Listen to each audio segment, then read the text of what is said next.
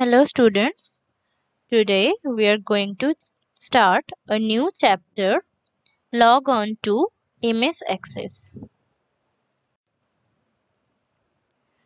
So in this chapter, first of all, we are going to learn what is database. A database is an organized collection of related data so that it can be easily accessed, managed and updated. Database হলো একই রকমের ডেটার একটা collection সেই collection থেকে আমরা ডেটাগুলোকে easily access করতে পারব। সেই ডেটাগুলোকে আমাদের ইচ্ছা মতো ম্যানেজ করতে পারব বা নতুন কোনো ডেটা আপডেট করতে পারব। এটাই হচ্ছে database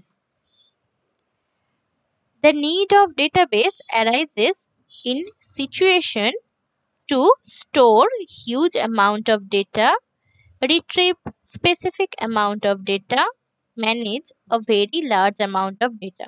আমাদের ডেটাবেস কখন প্রয়োজন হয় যখন আমরা অনেক ডেটা একসঙ্গে স্টোর করতে চাইছি সেই সেটা যে কোনো টাইপের ডেটা হতে পারে আমরা স্টোর করতে চাইছি অনেক পরিমাণে ডেটা তখন আমরা ডেটাবেস ইউজ করব।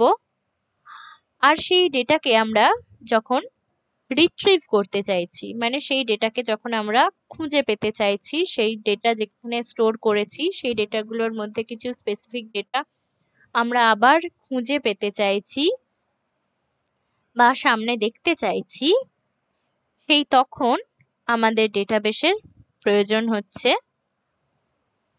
তারপরে manage a very large amount of data সেই অনেক হিউজ ডেটাকে আমরা যখন ম্যানেজ করতে চাইছি, তখনও ডেটাবেসের প্রয়োজন হচ্ছে। কারণ এই ডেটাবেসের মাধ্যমে আমরা এক প্রথম কথা অ্যাক্সেস করতে পারছি ডেটা সেগুলোকে ম্যানেজ ম্যানেজ করতে পারছি বিভিন্ন রকমের ইনফরমেশন একই কাইন্ডের ইনফরমেশন যেগুলো আমরা হিউজ ইনফরমেশন স্টোর করেছি ডেটাবেসে সেখানে আমরা সেই ইনফরমেশনগুলোকে ইজিলি অ্যাক্সেস করতে পারছি, সেগুলোকে ম্যানেজ করতে পারছি আপডেট করতে পারছি, আর সেই জন্যই আমাদের ডেটাবেসের প্রয়োজন হচ্ছে। এখানে একটা এক্সাম্পল দেয়া আছে, দেখো। ইউজার আইডি ফার্স্ট কলামে আছে।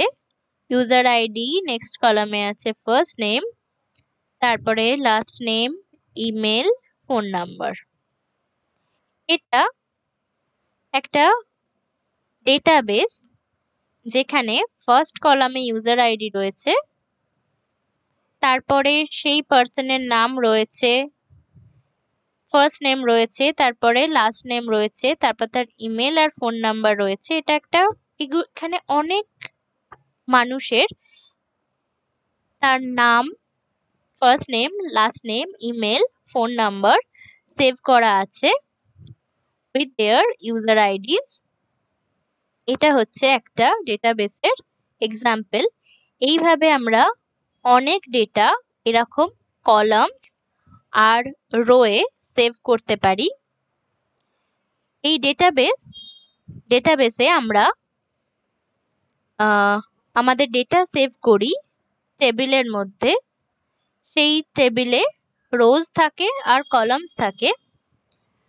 এক একটা কলামকে বলে ফিল্ড এখানে দেখো লেখা রয়েছে কলামস গুলোকে বলে ফিল্ড সেই এক একটা ফিল্ডে সেম টাইপের ডেটা থাকে। ধরো ফিল্ডের নাম হচ্ছে ইউজার আইডি সেই ইউজার আইডি ফিল্ডে বা সেই কলামে অনলি ইউজার আইডি গুলোই স্টোর থাকবে। তারপরে কলামটা হচ্ছে ফার্স্ট নেম সেই ফার্স্ট নেমে শুধু প্রত্যেকজন ইউজারের ফার্স্ট নেমগুলোই সেভ থাকবে। সেম অ্যাজ লাস্ট নেমে লাস্ট নেমগুলো সেভ থাকবে। ইমেলে ইমেলগুলো সেভ থাকবে আর ফোন নাম্বার যে ফিল্ডটা আছে সেখানে অনলি ফোন নাম্বারগুলোই সেভ থাকবে। মানে সেম টাইপের ডেটা ফিল্ডের মধ্যে বা কলামের মধ্যে সেভ থাকছে। Each row is a separate record আর যদি আমরা প্রত্যেকটা রো ওয়াইজ ধরি, এই প্রত্যেকটা রোকে বলে এক একটা রেকর্ড ফার্স্ট রোতে দেখো, শুধু একজন মানুষেরই user ID first name last name email phone number save আছে। এইভাবে ইন্ডিভিজুয়াল রোতে ইন্ডিভিজুয়াল পার্সনের রেকর্ড বা ডেটা সেভ থাকছে। তাই কলামস গুলোকে বলছে ফিল্ড আর রোজ গুলোকে বলছে রেকর্ড এটাই হচ্ছে ডেটাবেসের স্ট্রাকচার ডেটাবেস মডেল এখানে ফার্স্ট মডেল হচ্ছে hierarchical model then relational model সেটা হচ্ছে এই রকম দেখতে। Next network model then object oriented model hierarchical মডেলে পেভমেন্ট ইমপ্রুভমেন্ট সেখান থেকে দেখো অনেকগুলো তার ভাগ রয়েছে, অনেকগুলো পার্টে সেটা ডিভাইডেড হয়েছে। তার মধ্যে সেকেন্ড রোতে তিনটে পার্ট রয়েছে, সেই তিনটে পার্টের মধ্যে একটা পার্ট মেনটেনেন্স সেটা আবার তিনটে পার্টে ডিভাইডেড হয়েছে হায়ারার্চিক্যাল মডেলে রিলেশনাল মডেলে দুটো আলাদা আলাদা ডেটাবেস একটা ফার্স্টের ডেটাবেস রয়েছে ইএমপি ডেটা বা এমপ্লয় ডেটা সেখানে employ employ ID MGR ID et cetera রয়েছে। সেখানে সেই টেবিলটার সাথে বা সেই ডেটাবেসের সাথে রিলেটেড আছে আরেকটা ডেটাবেস সেটা হচ্ছে এমপ্লয় ইএমপি আইডির মধ্যে ইএমপি নাম্বার যেটা রয়েছে, সেই নাম্বারটা সাথে লিংক আছে এমপ্লয় টেবিলের সেই টেবিলে একজন ইন্ডিভিজুয়াল এমপ্লয় এর সম্বন্ধে যা যা ডেটা সেভ রাখা দরকার, সেগুলো সেভড আছে নেক্সট টেবিলে তাই দুটো টেবিলের মধ্যে একটা রিলেশন কাজ করছে। তাই এটা হচ্ছে রিলেশন রিলেশনাল মডেল তারপরে আছে নেটওয়ার্ক মডেল নেটওয়ার্ক মডেলে প্রতিটা পার্টের সাথে প্রতিটা পার্টের মিল আছে বা কানেকশন আছে। যেমনি এখানে যেমনি এখানে রিজিড পেভমেন্টের সঙ্গে দুটো তার পার্ট আছে। জয়েন্ট সেলের সাথে আরও সেটা আবার দুটো পার্টে ডিভাইড হয়েছে। ওদিকে ফ্লেক্সিবল পেভমেন্ট সেটা দুটো পার্টে ডিভাইডেড হয়েছে। সেই পার্টের সাথে আবার আগের পার্টের রিলেশন আছে। এই রকম ভাবেই তৈরি হয়েছে, একটা নেটওয়ার্ক তৈরি হয়েছে, তাই এটা network model next one object oriented model এখানে দেখো অবজেক্ট ওয়ানে রয়েছে date activity code et cetera সেই অ্যাক্টিভিটি কোডের সাথে মেনটেনেন্স অ্যাক্টিভিটির একটা লিঙ্ক আছে অবজেক্ট টু যেখানে আছে মেনটেনেন্স অ্যাক্টিভিটি সেই দুটোর ফার্স্ট অবজেক্ট আর সেকেন্ড অবজেক্টের মধ্যে একটা রিলেশন বিল্ড হয়েছে অ্যাক্টিভিটি কোডের মাধ্যমে। দুটো টেবিলের মধ্যেই অ্যাক্টিভিটি কোডটা কমন তাই এই দুটো টেবিলের মধ্যে একটা রিলেশন বা দুটো অবজেক্টের মধ্যে একটা রিলেশন বিল্ড হয়েছে। তাই এই ডেটাবেস মডেল হচ্ছে object oriented model database model এখানে ডেটাবেস ম্যানেজমেন্ট সিস্টেম বা DBMS what is that It is a software program that enables you to create, modify and extract data from database. What is database management system? Database management system হলো একরকম software program যেখানে তুমি একটা database create করতে পারবে সেটাকে modify করতে পারবে আর সেখান থেকে ডেটা এক্সট্রাক্ট করতে পারবে মানে রিট্রিভ করতে পারবে This is Database Management System but DBMS. Then Relational DBMS. A DBMS based on the relational data model stores data in the form of tables. Relational DBMS Relational DBMS এর মধ্যে কি থাকে data model থাকে যেগুলো relational data model থাকে মানে টেবিলের আকারে, ফিল্ড আর রেকর্ডের আকারে ডেটা সেভ থাকে। আর একটা টেবিলের সাথে অন্য টেবিলের একটা রিলেশন থাকে। সেইভাবে ডেটাগুলো একটার সাথে এক এক একটা টেবিলের সাথে একটা টেবিলের লিঙ্ক থাকে আর রিলেশন থাকে। সেই ব্যাপারটাকেই বলা হচ্ছে রিলেশনাল ডিবিএমএস বা রিলেশনাল ডেটাবেস ম্যানেজমেন্ট সিস্টেম। তাই একটা টেবিল থেকে আমরা অন্য টেবিল অ্যাক্সেস করতে পারবো next primary key what is that a key that can be used to uniquely identify a row in a table is called primary key. Primary key হলো একটা একটা uniquely identify to uniquely identify a row in a table.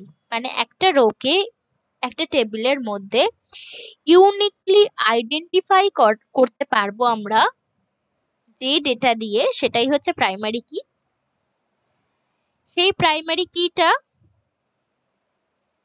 কখনো নাল data হয় না। মানে একটা primary কির জন্য একটা ডেটা সেই টেবিলে থাকতেই হচ্ছে। একটা প্রাইমারি কি প্রত্যেকটা টেবিলে থাকতেই হয়। আর সেই প্রাইমারি কিটাকে ইউনিক হতে হয়। মানে সেই প্রাইমারি কির ভ্যালু প্রত্যেকটা রেকর্ডের ক্ষেত্রে আলাদা আলাদা হবে। দুটো রেকর্ডের প্রাইমারি কির ভ্যালু সেম হতে পারে না। তো এটাকেই বলা হচ্ছে প্রাইমারি কি এখানে একটা এক্সাম্পল দেওয়া রয়েছে, দেখো। ID name age course total চারখানা ফিল্ড আছে। ঠিক আছে? ফার্স্টে আইডি একটা দেয়া রয়েছে, সেখানে নেম আরিয়া এজ রয়েছে কোর্স জাভা নেক্সট ওয়ান একটা ডিফারেন্ট আইডি রয়েছে নেম ব্রেন রয়েছে এজ একটা রয়েছে টোয়েন্টি ওয়ান আর কোর্স পাইথন এগেন আরেকটা আইডি দেওয়া রয়েছে, নাম সেম রয়েছে আরিয়া যেটা ফার্স্ট রেকর্ডে ছিল ফার্স্ট রোতে ছিল, সেই সেম নাম আবার রিপিট হয়েছে আরিয়া একটা age nineteen course C plus plus next one একটা ডিফারেন্ট আইডি রয়েছে নেম রয়েছে এজ রয়েছে কোর্স রয়েছে। সেইভাবে আমরা দেখতে পাচ্ছি, এই চারখানা ফিল্ড বা কলামের মধ্যে প্রত্যেকটা রোয়ের ক্ষেত্রে বা প্রত্যেকটা রেকর্ডের ক্ষেত্রে ইউনিক রয়েছে অনলি আইডি তাই আমরা সেই আইডিটাকে প্রাইমারি কি হিসেবে ট্রিট করি। মানে সেই আইডিটা দিয়ে আমরা এক একটা রোকে আলাদা আলাদাভাবে চিহ্নিত বা করতে পারি। চিহ্নিত বা আইডেন্টিফাই করতে পারি। তাই জন্য এটাকে প্রাইমারি কি বলা হচ্ছে। কারণ নেম দেখো রিপিট হয়েছে টু টাইমস আরিয়া আছে এজ রিপিট হয়েছে টু টাইমস সেভেন্টিন আছে কোর্স রিপিট হয়েছে টু টাইম পাইথন আছে। তাই এগুলো কোনোটাই ইউনিক ভ্যালু বা ইউনিক ডেটা নয়। অনলি আইডিটা ইউনিক ডেটা সেই জন্য এটাকে প্রাইমারি কি হিসেবে ইউজ করা হচ্ছে now MS access what is that MS Access is most popular RDBMS relational DBMS বা RDBMS software হলো MS Access Access provides a graphical user interface for maintaining data Access graphical user interface provide করে for data maintenance The database created in Access 2010 are saved with the extension .accdb. Access 2010 এ যে ডেটাগুলো save হয় সেগুলো dot এসিসিডিবি extension দিয়ে save হয় the MS Access database made up of কি কি দিয়ে M S access তৈরি হয়? There are four objects first one table then query then reports and forms এই চারখানা অবজেক্ট দিয়ে এম এমএস অ্যাক্সেস ক্রিয়েট হয়।